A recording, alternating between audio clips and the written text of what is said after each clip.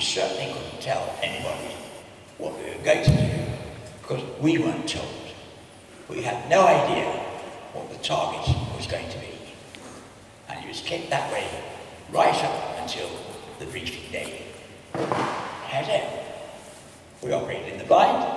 I suppose, if we thought about it, operating against uh, the, uh, the reservoirs should have given us a clue.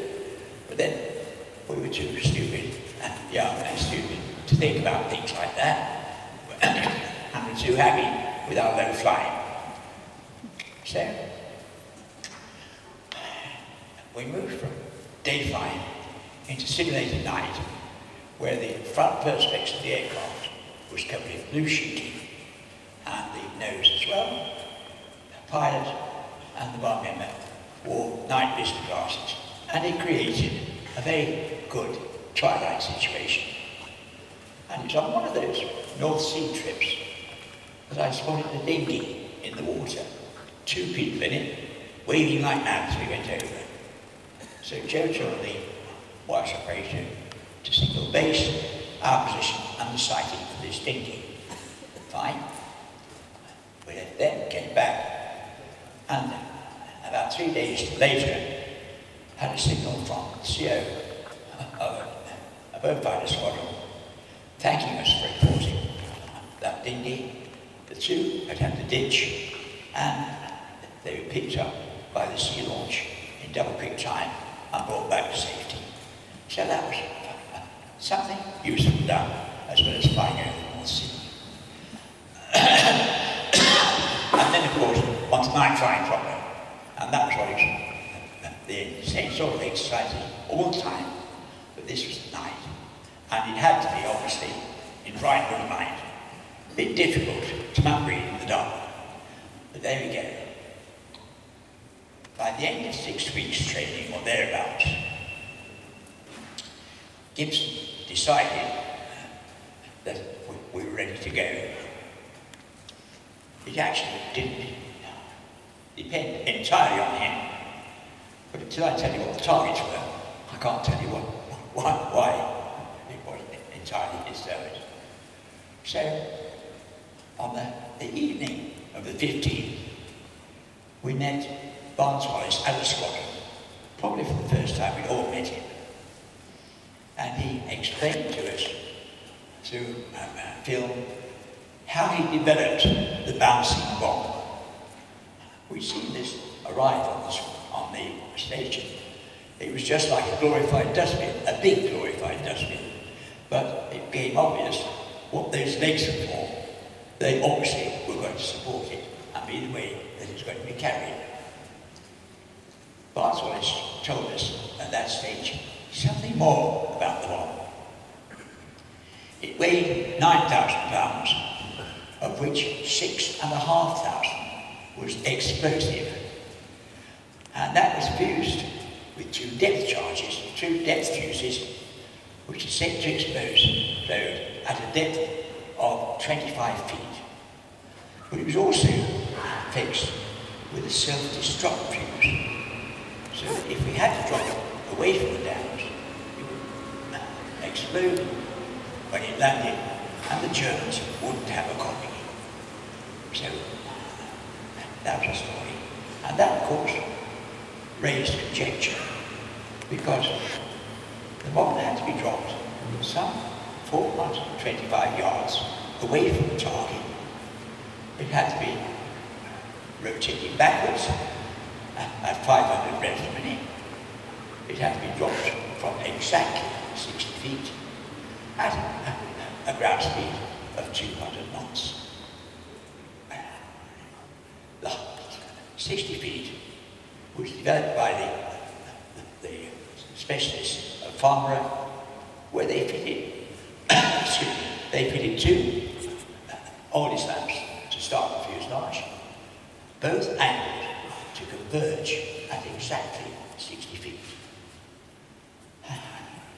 And so the, uh, the practice of operation, obviously, the way of operation, the bomb was switched on, the rotation was switched on shortly after takeoff, But before that, the navigator would be watching the lights, and he'd be saying up or down. The flight engineer was watching the speed, and the bomber was directing the, the uh, pilot to the target through his bomb, uh, bomb sight. So it became a, a three crew, at least four crew operation. It meant the pilots were being told by three members of the other members of the crew how to fly the airplane. They didn't complain, they just followed it. So that, that was the setup. On the following day, Sunday, we're all called on the tannoy to report to the operations room, to briefing. And then we saw what the target was. After the previous evening's explanation, we conjectured that it would probably be the German battleships, notably the Tirpitz, since we were dropping them on that sort of distance away, we'd be able to get away before the uh, effective uh, uh, anti-aircraft guns opened up on us from the gun. How wrong can you be? In the briefing room, there was a model the Möhne Dam, a model of the Sorpe Dam, the model of the Eder hadn't been completed. A large map up on the wall which showed two routes in and one route out. What a great briefing that was to the AOC was there, station commander, when Commander Gibson, of course, was doing the briefing. Barnes was there to add his comments. The station uh, chief arms officer and engineering officers were there, and the dear old man was there to give us his briefing. He was rather fortunate than most Met men in that the object of the, the, the flight was it should be in bright. So he could tell us in all confidence what the time, the weather was going to be like we got out of the target and when we got back. And for once, he was quite right. So, Gibson did the briefing. He would take off with two other aircraft, and they would head for the Möhne Dam. They'd be followed by six others in two threes, again heading for the Möhne, and if when they got there, the Möhne had been breached, they'd have joined in the attack on that under Gibson's control. And once the Möhne was breached, they would move over to the sort to the uh, any shut up to the Eder. Sorry about the shut up. I do that frequently myself. they would go up to the Eder and attack that. For nine troops. Five, of which we won, were briefed for the Sorpe. And of course, the Sorpe had to be different. It had no towers for sighting, and it was so placed in the hills that the head on sight was extremely if difficult, if not impossible. And so we were briefed that we had to fly down one side of the hills with a port out engine over the dam itself and fly along the, the dam and estimate strong in the centre of the dam. We weren't spinning the bomb at all. It was going to be an inert drop. So the conditions for the dropping of that bomb didn't, didn't apply. It wasn't a particularly easy exercise to get into. We hadn't practiced that type of thing at all.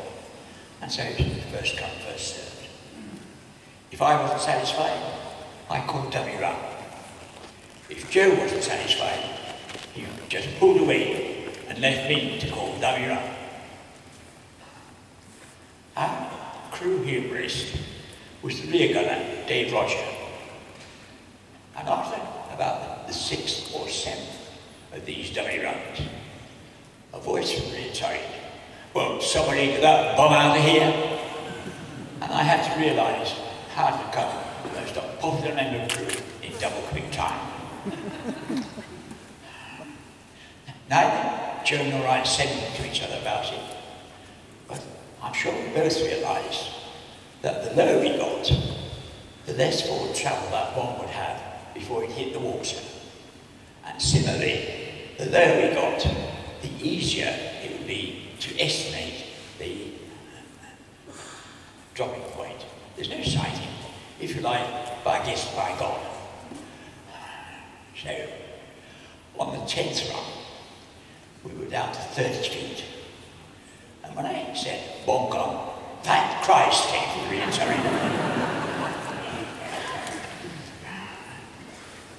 We had, of course, to be nose up straight away to avoid the hills on the other side, so I didn't see the explosion. But Dave did in the rear side, and he reckoned that the shaft of water went up to about a thousand feet. But if you can imagine 6,500 pounds explosive being detonated in a depth of 25 feet of water, it's going to move a hell of a lot of water in all directions. However, we circled and we saw that we just crumbled the top of the dam for a distance of about 10 yards. Now, Barnes Wallis had told us before we left, he estimated it would take six bombs to crack that dome because of its structure. Totally different, different structure from the, the, the other two. I think they were called gravity dams. This one was built like a pyramid of shingle, rock, soil on either side, packed down hard. A centre concrete core and concrete on the outsides.